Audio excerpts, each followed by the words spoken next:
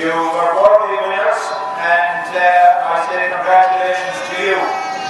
Now, now my wife present the trophy.